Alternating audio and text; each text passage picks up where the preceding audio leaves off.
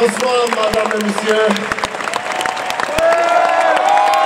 Bienvenue, willkommen, welcome, merci beaucoup, orange.